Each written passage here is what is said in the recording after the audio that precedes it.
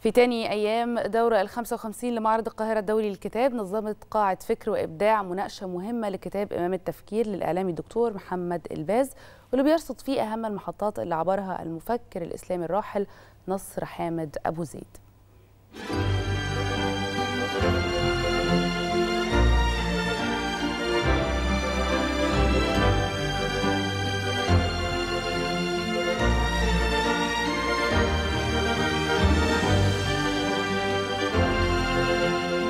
صحيح يعني أنا ب ب ب أميل إلى نصر أبو زيد لكن يعني الحق أحيانا يخليني إنه هذا الميل ليس ميل مطلق إنه في كتابات دكتور نصر أبو زيد بعد الأزمة كان فيه تطرف كبير جدا في رد الفعل. يعني هو عندما يتعرض لكل هذا الاضطهاد وكل هذا القهر وكل هذه الاتهامات فكان في كتاباته عنيف جدا لدرجة إنه ليه بعض النصوص فيها تجاوز لفظي حتى ضد منتقديه يعني يعني بيتعامل بعنف. وهو بالنسبة لي عنف مبرر. يعني لما تتعرض لكل هذا القهر فما حدش هيلوم عليك لما تصرخ يعني. المرحلة الثالثة بعد ما ما ساب مصر واحتك بالباحثين في في الغرب والدراسات في الغرب ودي دراسات يمكن أفضل ما كتب نصر أبو زيد.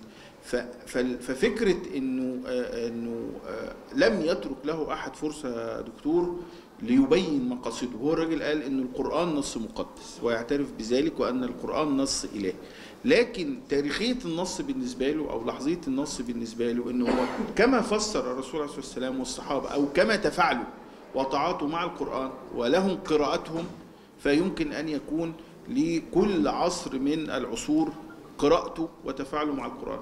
هو الكتاب فكرته الأساسية أنك بتستعرض حياة الدكتور نصر حامد أبو زيد وبتستعرض إنتاجه الفكري اللي هو هذا الإنتاج ببساطة شديدة جداً يعني آه تسبب في آه مطاردته وتسبب في إنه آه رفع دعوة للتفريق بينه وبين زوجته وأدى إلى تكفيره.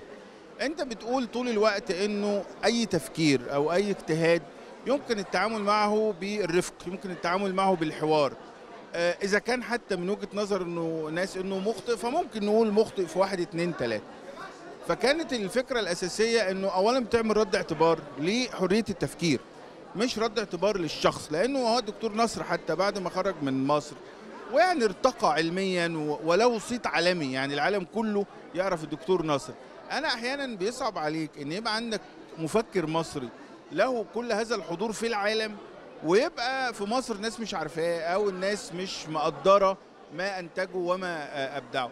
فده كان الكتاب محاولة لإنزال نصر أبو زيد القدر اللي يستحقه. من وجهة نظري ممكن الناس تختلف مع الطرح أو تتفق ده مش مش الموضوع. المهم إن إحنا نبقى فاهمين فاهمين ببساطة إنه التفكير مهم لهذا المجتمع ولهذه الأمة. يعني أنا عندي قناعة بمنهجه في التفكير. وزي ما بقول لك إنك بتعلي من قيمة يعني حرية التفكير.